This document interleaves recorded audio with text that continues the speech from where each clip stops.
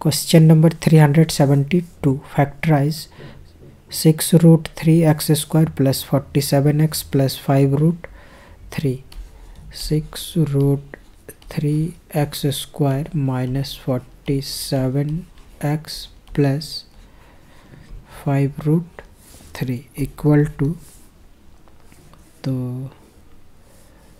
हमें इसके middle term को स्प्लिट करने के लिए जो एक्स स्क्वायर का कॉफिशेंट है, वो है सिक्स रूट थ्री और कांस्टेंट टर्म है फाइव रूट थ्री और जो एक्स का कॉफिशेंट है, वो है फोर्टी सेवन रेशनल नंबर है। तो हमें पहले, और ये दोनों इरेशनल है तो हमें इस केस में पहले इसको मल्टीप्लाई करना पड़ेगा और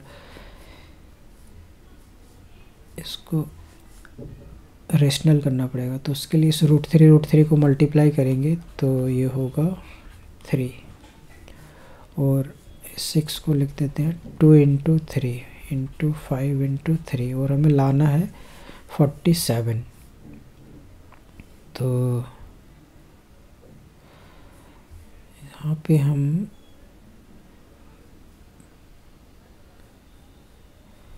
फाइव थ्री जा फिफ्टीन और फिफ्टीन थ्री जा फोर्टी फाइव यहाँ तक का एक ग्रुप ले लेते हैं। ये फोर्टी फाइव और two two plus forty five equal to forty seven work so six root three x square हमें माइनस फोर्टी सेवन चाहिए तो दोनों की जगह माइनस होगा। Minus two x minus forty five x plus five root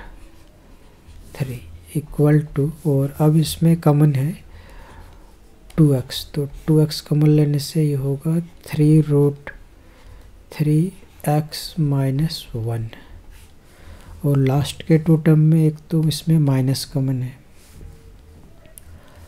और इस फोर्टी फाइव को हम लिख सकते हैं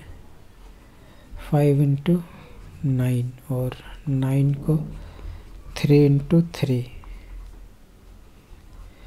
और एक थ्री को लिख देते हैं root three into root three. तो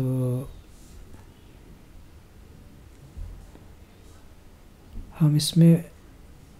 फाइव और रूट थ्री को अगर कॉमन लेंगे, इस फोर्टी फाइव और इसमें फाइव रूट थ्री कॉमन हो रहा है। फाइव रूट थ्री कॉमन लेने से फ़र्स्ट वाले नहीं इस इस वाले टर्म में बचेंगे।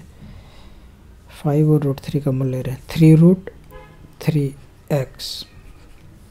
और माइनस कमल लिया तो साइन चेंज होगा और फाइव रूट थ्री तो हमने कमन लिया तो लास्ट वाला टर्म में ये वन होगा। और अब इनमें कमन है three root three x minus one तो फ़र्स्ट टर्म में टू एक्स बच रहा है और लास्ट वाले टर्म में five root 3 which is the required answer